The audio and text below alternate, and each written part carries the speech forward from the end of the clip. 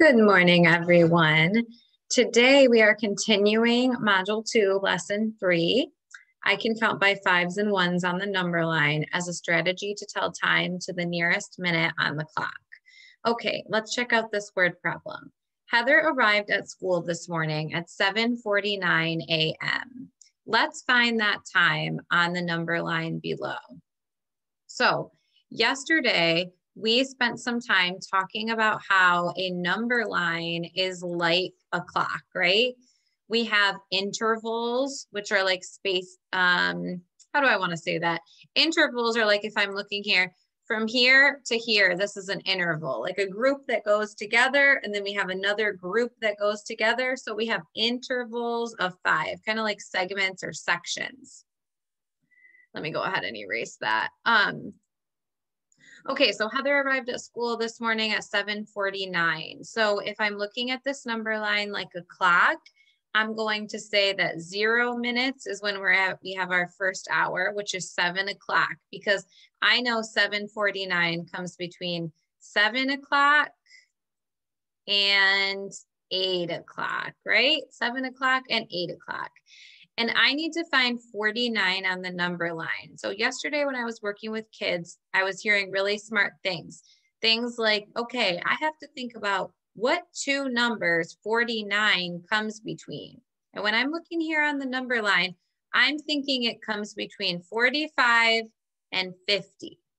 So remember, in order to put my minutes on here, I've got to draw them in.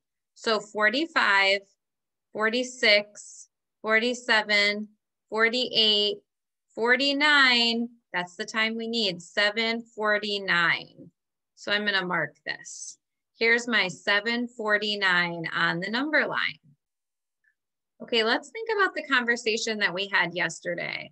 How is a clock similar to a number line?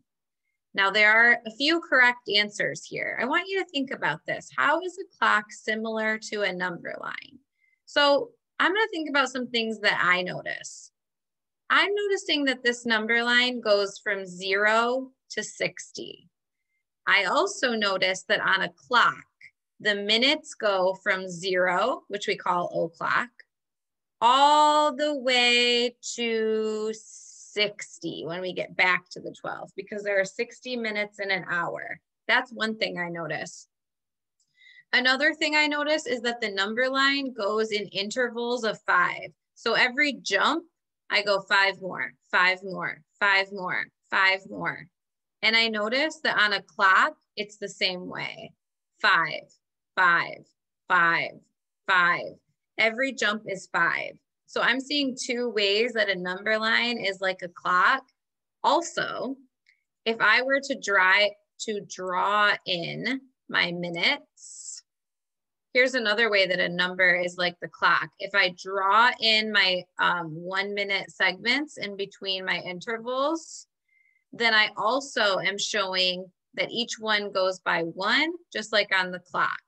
Zero, one, two, three, four, five, zero, one, two, three, four, five. So that's another way. So I just came up with three ways that a clock is similar to a number line.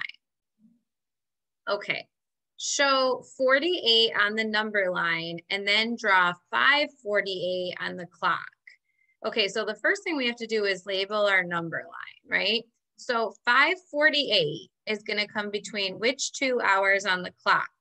That's gonna come between five o'clock and six o'clock. So at zero minutes, I'm gonna label that five o'clock and when 60 minutes passes, it's going to be six o'clock. Okay. So I have to show 48 on the number line. So if I'm counting, what does 48 come between? 40, 41, 42, 43, 44, 45, 46, 47, 48. Okay. It comes between 45 and 50. So let's draw those in. 46, 47, 48. I'm gonna mark it with a stamp. 548 on the number line. Now we have to draw it on the clock. Ooh, let's see, I have this arrow tool. Let's see how this works. 548, so my hour I know is five. Ooh, look at that, cool. My hour is five. So that one's a kind of easy one. I just point to the five. Now 48 is where we get a little trickier. So in our minutes, we have to count by fives until we get to 45, just like on the number line. Then we have to go three more to get to 48. So watch me. I go zero, five, 10, 15, 20, 25, 30, 35, 40, 45, 46, 47, 48. So see how I was able to jump by fives all the way until I got to 45, just like on the number line. Then I just had to go three more. One, two, three. So these numbers kind of serve as a guide so that you don't have to just go by one, one, one, one. That would take all day. That's why these fives are here to help us. So 548. Okay, let's try 1214. So I have to ask myself, what does 1214 come between on the clock? Well, I know it's after 12 o'clock and it's before one o'clock, right? So my minute my zero is going to be 12 o'clock and my 60 is going to be one o'clock. Okay, and I have to find 14. So I know 14 comes after 10 and before 15. So I go 11, 12, 13, 14. There it is. I'm going to mark it with this stamp. 12, 14. So can I do the same thing on the clock?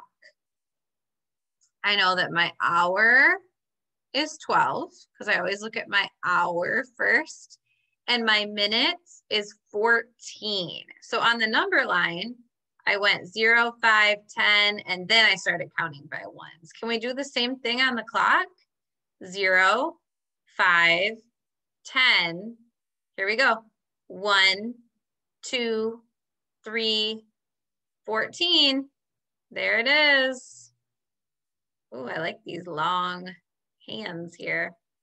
All right, 12, 14 on the clock.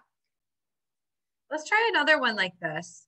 Show 28 on the number line. Show 28 on the number line.